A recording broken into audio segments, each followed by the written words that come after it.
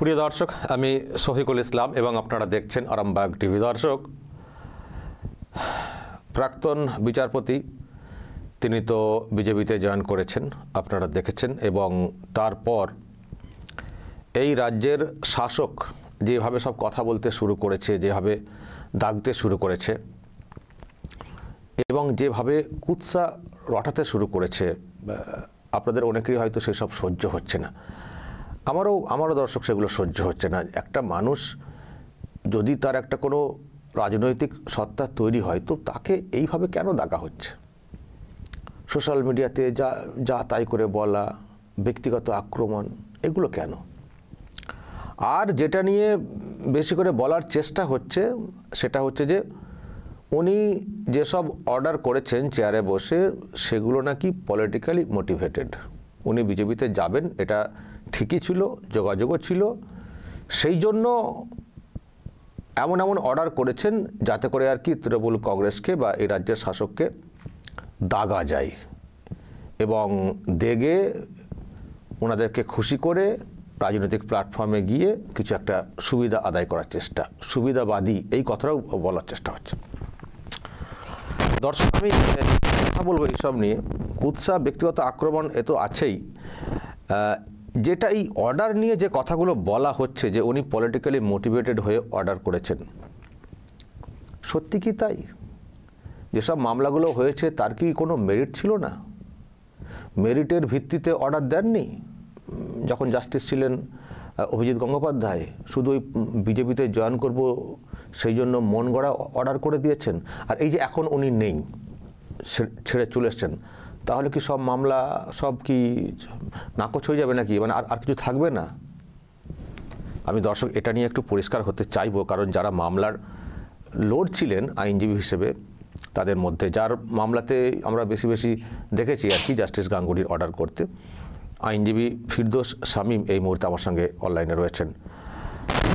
আপনাকে স্বাগত জানাই প্রথমে। ফিরদোস শামীম আমি তো আমি তো জানি আপনার প্রচুর মামলা জাস্টিস যখন ছিলেন অভিজিৎ গঙ্গোপাধ্যায়, তার এজলাসে হয়েছে। আচ্ছা এই যে কথাগুলো উঠছে, নিশ্চয়ই আপনিও শুনছেন।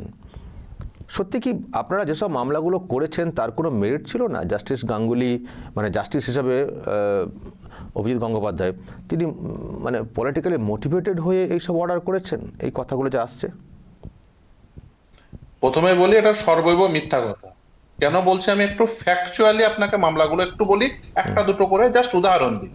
যেমন ধরুন, শেতাবুদ্দিন বলে সেই মামলাতে জাস্টিস গঙ্গোপাধ্যায় সিবিআই তদন্তের নির্দেশ দিয়েছিলেন। কেন দিয়েছিলেন?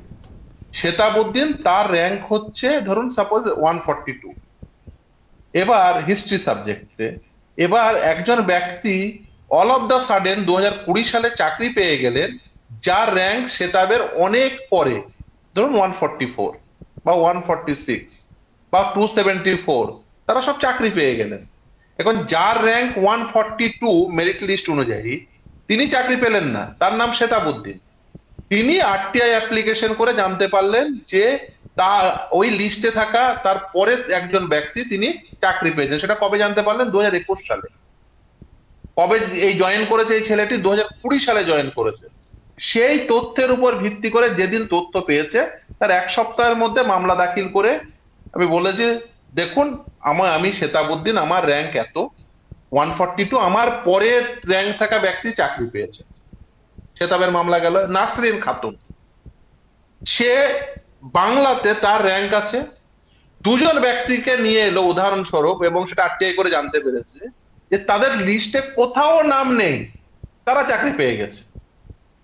এবার এই রকম ঘটনা, আমি শেতাব, নাসরিন, আব্দুল গনি, আনসারি, এই প্রতিটি মামলাতেই এরকম, যেমন আব্দুল গনি আনসারি ম্যাটারে নন লিস্টেড ক্যান্ডিডেট মানে কোথাও নাম নেই, না প্যানেলে না ওয়েটিং লিস্টে তারা চাকরি পেয়ে গেছে। এবার এই মামলাগুলো যখন পরপর পরপর হতে থাকল, প্রথমে কিন্তু জাস্টিস গঙ্গোপাধ্যায় সিবিআই তদন্তের নির্দেশ দেয়নি। প্রথম দিনই গেলাম আর সিবিআই তদন্তের নির্দেশ দিয়েছে, না সেদাবের মামলায় দিনের পর দিন হিয়ারিং হয়েছে। প্রথমে স্কুল সার্ভিস কমিশনকে বলেছিল জাস্টিস গঙ্গোপাধ্যায়, যে এই যে কথাটা বলছে এবং আরটিআই যে রিপ্লাই নিয়ে এসছে পিটিশনে অ্যানেক্স করে যে পিটিশন করেছে, এটা তুমি রিপোর্ট দাখিল করে বলো যে এটা সত্য নাকি মিথ্যা। স্কুল সার্ভিস কমিশন নিজেরা এভিডেভিট দিয়ে বলল হ্যাঁ এটা সত্য এবং যে ব্যক্তিকে আমরা চাকরি দিয়েছি, সে তার প্রাপ্ত নাম্বার কম, তার মেরিট লিস্টের স্থান সেতাবের অনেক নিচে এবং এটা আমাদের ভুল হয়েছে। এটা কেউ বলেনি, এটা স্কুল সার্ভিস কমিশন নিজেরা বলেছে। সেটার উপর ভিত্তি করে এরকম এরকম এই সেতাবের মামলায়ও এসে বলে ভুল হয়েছে নাসরিনের মামলায়ও এসে বলে ভুল হয়েছে, আব্দুল গনি আনসারির ম্যাটারেও বলে ভুল হয়েছে। এরকম সিরিজ অফ মামলায় একাধিক মামলা একশোটার উপরে মামলায় এরকম একই কথা বলতে থাকে। তখন আমি একদিন এই যে সমস্তগুলো এই যে ভুল হয়েছে ভুল হয়েছে যে রিপোর্ট স্কুল সার্ভিস কমিশন জমা দিয়েছে, সেগুলোকে একত্রীভূত করে বলি যে দেখুন, একটা রিপোর্টের সাপেক্ষে যে দেখুন ভুল কাকে বলে। যে একটা ক্যান্ডিডেট যার ধরুন লিস্টে নাম আছে, একশো বিয়াল্লিশের জায়গায় একশো তেতাল্লিশকে দিলাম, একটা ভুল হতে পারে। কিন্তু ভাবুন কাউন্সিলিং করাবে যখন, যে কাউন্সিলিং করাবে সে তো নথি নিয়ে বসবে, ওই মেরিট লিস্টটা নিয়ে বসবে, এক, দুই, তিন, চার করে ডাকবে। কিন্তু যার লিস্টে কোথাও নাম নেই, তার ডিটেলস পেল কি করে? কাউন্সিলিং পিরিয়ডে জাস্টিস গঙ্গোপাধ্যায় এটা শুনলেন এবং আমি উদাহরণস্বরূপ একটা এক্সেপশনে এই সমস্ত উদাহরণগুলো ঢুকিয়ে দিলাম। তারপরে জাস্টিস গঙ্গোপাধ্যায় তখন সিবিআই তদন্তের নির্দেশ দিন এবার একটার পর একটা এই মামলা এরকম হতে হতে থাকছে। তারপর একটার পর একটা সিবিআই তদন্তের নির্দেশ হয়েছে। Even all of the sudden আমি একটা ডকুমেন্ট পেলাম। কি ডকুমেন্ট না, এই যে আপনাদের মনে থাকবে, এর আগে এই যে আন্দোলন করেছিল না প্রেস ক্লাবের সামনে এর আগের লোকসভা ভোটের পূর্বে কিছু ছেলে মেয়ে আন্দোলন করছে। সেখানে কে পৌঁছে গেছিল? মমতা বন্দ্যোপাধ্যায় নিজে। পৌঁছে গিয়ে বলেছিল সেই প্রেস ক্লাবের সামনে ছেলে মেয়েদের যে, তোমরা চিন্তা চিন্তা করো না এখন ভোট চলছে, এখন তো দিতে পারব না, কারণ মডেল কোড অফ কন্ডাক্ট শুরু হয়ে গেছে, আমরা তো চাকরি দিতে পারব না। আমি একটা কমিটি তৈরি করে দিচ্ছি এবং সেই কমিটি দেখবে এবং তারা চাকরি দেবে। আপনাদের বুঝে রাখা উচিত এবং জেনে রাখা উচিত যে, সেই যারা আন্দোলন করছে, তাদের নেতা ছিল শেখ ইনসান আলী। এই যে সেতাবের মামলায়, যাকে প্রাইভেট রেসপন্ডেন্ট করে মামলা করেছি সেতাবের পরের থাকা ব্যক্তি হচ্ছে শেখ ইনসান আলী। সে চাকরি পেয়েছে এবং তাকে প্রাইভেট রেসপন্ডেন্ট বানিয়ে মামলা করা হয়। এবং জাস্টিস গঙ্গোপাধ্যায় সেই নির্দেশ দেন যে ওর চাকরি বাতিল হবে। এবং সেই সেতাবের মামলায় সিবিআই তদন্তের নির্দেশ হয়। এখন এই শেখ ইনসান আলীদের, ওর যখন বলে আসে মমতা বন্দ্যোপাধ্যায়, তোমাদের একটা কমিটি তৈরি সেই পাঁচ সদস্যের কমিটি তৈরি করে দিয়েছিল। যে কমিটির কনভেনার ছিলেন ডক্টর এস পি সিনহা, যার স্থান এখন জেলে হয়েছে। সেই কমিটিতে ছিল মন্ত্রীর personal assistant personal secretary law officer deputy secretary এরা সব ওই পাঁচ সদস্যের কমিটিতে ছিল।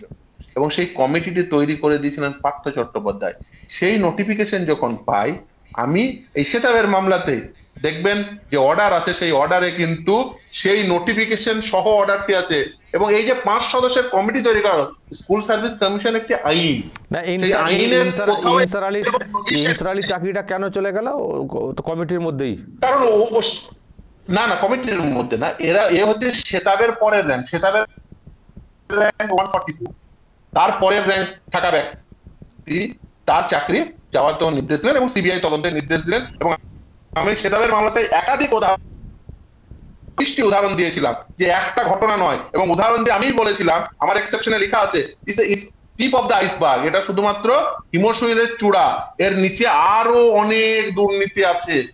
আমি এই তেইশটি বা পঁচিশটি উদাহরণ দিলাম, তখন ওই উদাহরণের উপর ভিত্তি করে জাস্টিস গঙ্গোপাধ্যায় বললেন যে, তাহলে এত যদি দুর্নীতি হয়ে যাবে, সেটা বিভিন্ন সাবজেক্টে হিস্ট্রিতে ঘটেছে, বাংলায় ঘটেছে ম্যাথামেটিক্সে ঘটেছে, বিভিন্ন সাবজেক্টে ঘটেছে। তখন সিবিআই তদন্তের নির্দেশ দিলেন এবং বললেন, এই যে ইললিগাল কমিটি যে কমিটির মাথায় ছিল ডক্টর এস পি সিনহা, সেই কমিটির সেই নোটিফিকেশনটাকে পরবর্তীতে ডিভিশন বেঞ্চ যেটাকে সুপার কমিটি বলেছে, শুধুমাত্র জাস্টিস গঙ্গোপাধ্যায় নির্দেশ দিয়েছেন আর সেই নির্দেশ এক্সিকিউট হয়ে গেছে, তা তো নয়। সেই নির্দেশকে চ্যালেঞ্জ করে ডিভিশন বেঞ্চে গেছে। জাস্টিস সুব্রত তালুকদার নির্দেশ দিয়ে শুধু তিনি জাস্টিস গঙ্গোপাধ্যায় তো সিবিআই তদন্তের নির্দেশ দেন। তিনি কি বলেছিলেন জানেন? ডিভিশন বেঞ্চ একটি অত্যন্ত বৃহৎ একটি রায় দিয়ে বলেন এবং অত্যন্ত মানে অত্যন্ত সুলিখিত একটি রায়। আপনি যদি পড়েন পুরো রায়টি, এত সুন্দর ভাষায় সেই রায় প্রদান করা হয়েছে এবং তিনি বলেন, সেই ডিভিশন বেঞ্চ বলেন যাতে সুব্রত তালুকদারের ডিভিশন বেঞ্চ যে এটি একটি পাবলিক স্ক্যাম গণ দুর্নীতি তিনি এটাকে গণ দুর্নীতি অভিযুক্ত করেছিলেন জাস্টিস সুব্রত তালুকদার। আপনাকে বলি, তারপরে এই যখন ধরুন মামলাগুলো চলতে থাকে, তখন তিনি এক সময় ইডি এসে বলে যে, আমরা যখন একটি ইনভেস্টিগেশন করতে যাচ্ছি প্রাইমারি রিক্রুটমেন্ট স্ক্যামে তখন আমরা অয়নশীলের বাড়িতে যখন আমরা তদন্ত করছি, তদন্ত পর্বে মিউনিসিপ্যালিটি নিয়োগে দুর্নীতি হয়েছে, তার ডকুমেন্ট পেয়েছে।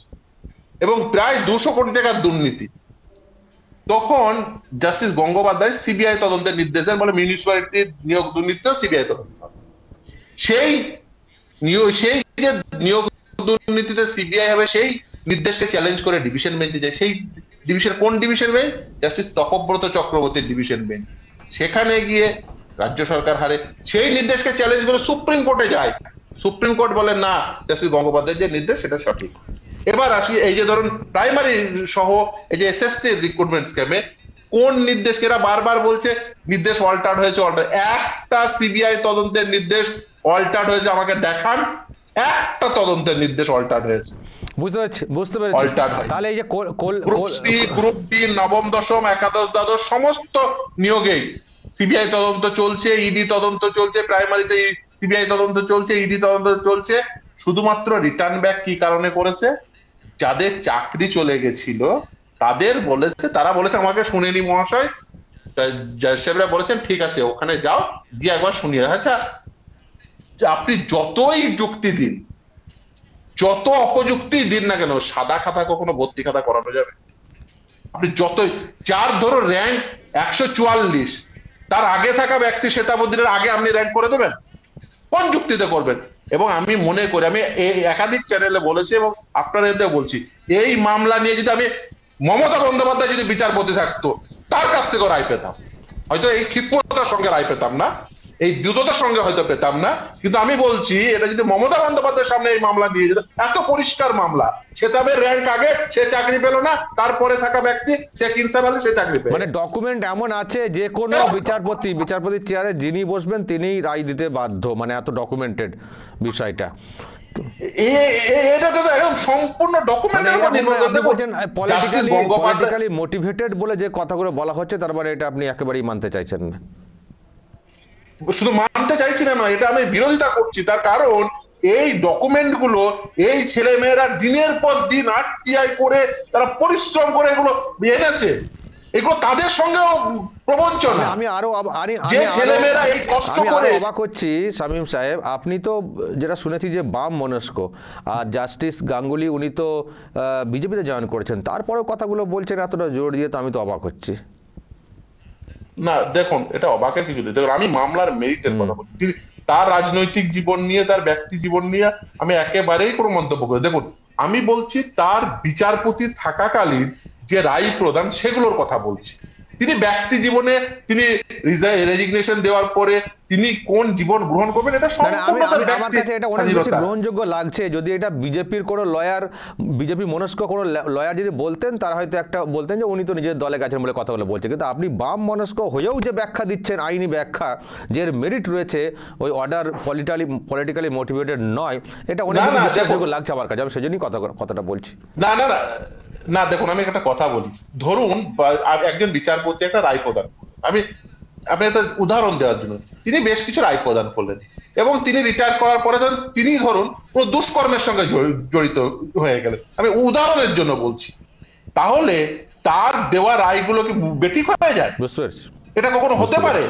আর জাস্টিস গঙ্গোপাধ্যায় বিজেপিতে জয়েন করুন তিনি অন্য কিছু করুন তিনি সমাজ জীবনে করুন কালকে বিজেপি ছেড়ে দিন যা ইচ্ছা করুন।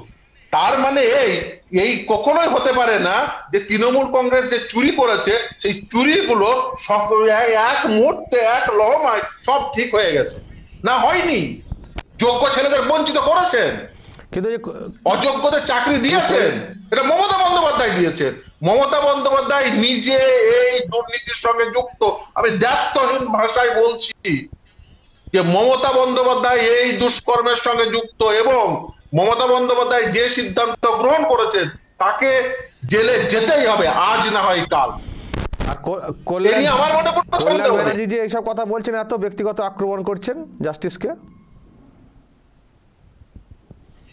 আমি বলি কল্যাণ বাবু দেখুন তিনি একজন সিনিয়র অ্যাডভোকেট আমার তার ব্যক্তিগত এদের কোনো বক্তব্য নেই কিন্তু তিনি একটা পক্ষের আইনজীবী। তিনি কোন পক্ষের আইনজীবী? যারা এই অবৈধ পথ পেয়ে চাকরি পেয়েছে সেই পক্ষের তিনি আইনজীবী ফলে সে তার মক্কেলের হয়ে কথা বলবে, এটা স্বাভাবিক। এর মধ্যে কোনো অস্বাভাবিকতা দেখি না। তাছাড়াও তার একটা রাজনৈতিক পরিচয় আছে। তিনি তার রাজনৈতিক সত্তা থেকে এবং তিনি যে পক্ষের হয়ে অ্যাপিয়ার করছেন, সেই পক্ষের হয়ে তিনি বলবেন, এতে এর মধ্যে আমি অন্য কিছু দেখছি না। দ্বিতীয় আর একটা কথা বলি, যেটা ধরুন রাজনৈতিক শালীনতা বা রুচিবোধ, সেটা নিয়ে আমি মানে আমি সত্য সত্য আমি ওই নিম্ন রুচির রাজনীতি বা নিম্ন রুচির কোনো কথাবার্তা আমি পছন্দ করি না আমি ব্যক্তিগতভাবে মানে প্রচণ্ড ব্যক্তিগত আক্রমণ করেছেন একটা প্রেস প্রেস মিটে। এটা এটা এটা এটা রাজনৈতিক শুধু না ব্যক্তি জীবন এবং সমাজ জীবনের যে শালীনতা সে শালীনতা একেবারে শালীনতার সঙ্গে সাযুজ্যপূর্ণ নয় এবং এইগুলোকে আমি এই ধরনের রাজনীতি এই ধরনের ভাষা আমি একেবারে নিন্দা করি আমি একদম পছন্দ করি না। দেখুন আপনার সাথে আমার রাজনৈতিক বৈধতা থাকতে পারে রাজনৈতিক মতপার্থক্য থাকতে পারে সেটা আদর্শের লড়াই। কিন্তু এই নয় তার অর্থ এই নয় কারোর কারোর ব্যক্তি জীবনে ব্যক্তি জীবনকে টেনে নিয়ে কথা বলবে এই এই- এই নিম্ন রুচির রাজনীতি আমি অপছন্দ আমার শেষ প্রশ্ন আপনাকে তাহলে এখন তো জাস্টিস মানে মানে অভিজিৎ গঙ্গোপাধ্যায় তো এখন তার জাস্টিস নেই এখন তো মামলাগুলো আছে। তিনি নেই তার মানে তার মানে এটা তো নয় যে তার মানে সব মামলা বেকার হয়ে যাবে আর কোনো বিচারপতি? না একদমই না। প্রতিদিন শুনানি চলছে আপনাকে জেনে রাখা উচিত। ডিভিশন বেঞ্চে আগামী সোমবারও শুনানি হবে। শুক্রবারেও শুনানি হয়েছে গতকালও শুনানি হয়েছে। আগামীকাল আগামী সোমবারও আবার পরবর্তী শুনানি হবে যে মামলাগুলো ফিরে এসছে। এবং এবং এবং হচ্ছে কি চ্যালেঞ্জ করা হচ্ছে যে যে অর্ডারগুলো দিয়েছেন জাস্টিস গাঙ্গুলি হিসেবে সেগুলো নাকি চ্যালেঞ্জ করা হচ্ছে? বলতে পারেন যে কেউ বলতে পারেন। যে কেউ দেখুন সেটা আমরা লড়বো যে বলতে পারেন। আপনি যে কেউ বলতে পারেন। দেখুন বিরোধী পক্ষ যারা যারা ধরুন এই বেনিফিশিয়ারি যারা ধরুন ইলিগাল অ্যাপয়েন্টমেন্টের যারা বেনিফিশিয়ারি তারা তো দেবেন, বিভিন্ন যুক্তি দেবেন। এর মধ্যেও আমি অন্যায় কিছু দেখি না। এই দুই যুক্তির মধ্যে আমরা একটা যুক্তি দেব, যারা যোগ্য চাকরি প্রার্থীদের হয়ে অ্যাপিয়ার করছি, অপর পক্ষ আর একটা যুক্তি দেবে। এই দুই পক্ষের যুক্তির মধ্যে যেটা গ্রহণযোগ্য যুক্তি হবে, সেটা আদালত গ্রহণ করে রায় প্রদান করবে। এটাই স্বাভাবিক নিয়ম। এবং এই নিয়ম, সেই সেই রায়কে পছন্দ না হলে উচ্চতর আদালতে যাবে যে পক্ষ পছন্দ হবে না। সেই পক্ষ উচ্চতর আদালতে যাবেন। এটাই স্বাভাবিক নিয়ম। কিন্তু দুর্ভাগ্য হলো এই তৃণমূল কংগ্রেস নামক এইরকম একটি রাজনৈতিক দল এই স্বাভাবিক সাধারণ নিয়মটি মানেন না। তাই তারা কখনো বিচারালয়ের বাইরে বসে পড়েন বিচারপতির বাড়িতে পোস্টারিং করেন। এগুলো কখনোই কাম্য নয়। আদালত যুক্তির আচ্ছা। আদালত আপনার আইন চর্চার আচ্ছা আর একটা কথা দেখছি কেউ কেউ মানে যারা চাকরি প্রার্থী তাদের তরফ থেকে একটা কথা তোলা হচ্ছে যে মানে এক্স জাস্টিস গাঙ্গুলির জন্যই নাকি আমাদের নিয়োগটা হলো না সুপার নিউমারিক পোস্ট তৈরি করে সরকার দিতে চাইছিল বলে। এটা একটা একটা অংশ আবার দেখছি অ্যান্টি কথা বলতে শুরু করেছেন। তাদেরকে কি করানো হচ্ছে? দেখুন কোন দেখুন কোন পক্ষ কি বলছে আমি জানি না আমি মামলার মেরিট নিয়ে কথা বলি। দেখুন যে এই যে সুপার নিউমেরিক পোস্ট তৈরি করা হয়েছিল না তার যে ক্যাবিনেট মেমোরেন্ডাম, আপনি যেদিন ওই যে জাস্টিস গঙ্গোপাধ্যায়ও বলেছেন, আমি যেদিন প্রথম ওই মামলা, আমার মামলাতে প্লেস হয় যখন, আমি যখন প্রথম ববিতার মামলায় যখন ক্যান সিক্স প্লেস করে, আমি দেখে ওর প্যারা সিক্স দেখে আমি অবাক হয়ে গেছিলাম। যে স্কুল সার্ভিস কমিশনের উপর এই দায়িত্ব ন্যস্ত আছে, যে যোগ্য চাকরি প্রার্থীদের চাকরি দেবে, তারা এভিডেভিট দিয়ে বলছে যে সুপার নিউমেরিক পোস্ট এই যে অতিরিক্ত শূন্যপদ কি কাজে ব্যবহৃত হবে? অযোগ্য চাকরি প্রাপকদের চাকরি বাঁচানোর জন্য। যার উপর এই স্ট্যাটুটরি ডিউটি আছে যে তুমি যোগ্য চাকরি প্রার্থীদের রেকমেন্ড করবে, তারা সেই অথরিটি সেই স্ট্যাটুটরি অথরিটি বলছে অযোগ্য চাকরি বাঁচানোর জন্য এই অতিরিক্ত শূন্যপদ ব্যবহৃত হবে। ক্যাবিনেট মেমোরেন্ডাম চাওয়া হয়ে গেল ক্যাবিনেট মেমোরেন্ডাম দেখার পর আমি আরও অবাক হয়ে গেলাম। ক্যাবিনেট মেমোরেন্ডামে কি লিখা আছে জানেন? ইললিগাল অ্যাপয়েন্টমেন্ট হয়েছে এটা কগনিজেন্স নিয়েছে। গোটা ক্যাবিনেট বসে সিদ্ধান্ত নিয়েছে তাদের বিরুদ্ধে একটা শব্দ ব্যবহার করেনি। আপনি ভাবুন, সংবিধানের শপথ নিয়ে একটা ক্যাবিনেট গোটা ক্যাবিনেট ইললিগাল অ্যাপয়েন্টমেন্ট হচ্ছে এটা স্বীকার করে নিল, জানলো। তারপরে তার বিরুদ্ধে কোনো ব্যবস্থা না নিয়ে অতিরিক্ত শূন্যপদ তৈরি করে দিল, সেই ইনফরমেশনের উপর ভিত্তি করে। গোটা এই একটা ডিসিশনের জন্য, আমি বারবার বলেছি, আবারও বলছি, একটা ডিসিশনের জন্য গোটা ক্যাবিনেটের জেলে যাওয়া উচিত। এদের গোটা ক্যাবিনেটের জেলের ভাত খাওয়া উচিত। বুঝতে পেরেছি। সেই মামলা এখন ট্রেন্ডিং সুপ্রিম কোর্টে কিন্তু আমি মনে করি যেভাবে এই সরকার এই অযোগ্য চাকরি প্রাপকদের চাকরি বাঁচানোর জন্য লড়ে যাচ্ছে এখান থেকে পরিষ্কার হয়ে যাচ্ছে আসলে এটা একটা ইনস্টিটিউশনাল করাপশন এই প্রাতিষ্ঠানিক দুর্নীতির পিছনে সরকারের উচ্চতম মাথারা প্রায় প্রত্যেকেই ওকে, অসংখ্য ধন্যবাদ Firdous Sabim advocate, Kolkata high court. ভালো থাকবেন। দর্শক, একটা ব্যাখ্যা পেলেন, বাম মনস্ক আইনজীবী কিন্তু। তিনিও বলছেন যে যে অর্ডারগুলো করেছেন জাস্টিস হিসেবে গাঙ্গুলি সাহেব পলিটিক্যালি মোটিভেটেড নয় মেরিট ছিল এবং সেই জন্যই তো হায়ার বেঞ্চে হায়ার কোর্টে গিয়েও আটকানো যায়নি। এমনি এমনি তো প্রথমবার অর্ডার করেছে সব মেনে নিয়েছে সরকার সেটা তো হয়নি চ্যালেঞ্জ হয়েছে, কিন্তু আটকানো তো যায়নি। ডিভিশন বেঞ্চ বলেছে পাবলিক করাপশন মানে বিরাট করে কথাটা বলেছেন। সুতরাং এইসব বলে হবে না। যতই চ্যালেঞ্জ হোক, যে উনার অর্ডারগুলো আমরা চ্যালেঞ্জ করছি, উনি নাকি পলিটিক্যালি মোটিভেটেড হয়ে সব অমকতমক করেছেন, যতই হোক এইসব ধোপে টিকবে না। যে পরিমাণ বা যে দুর্নীতির যে বহর যদি ঠিকঠাক বিচার সম্পন্ন করতে দেওয়া হয়, অনেকেই কিন্তু জেলে যাবেন, সেটা জোর গলাতে বলছেন ফিরদোস শামীম। দর্শক, কী বলবেন যদি এসব নিয়ে আপনাদের কিছু বলার থাকে, অবশ্যই বলবেন কমেন্ট বক্সে নজর রাখবেন আরামবাগ টিভিতে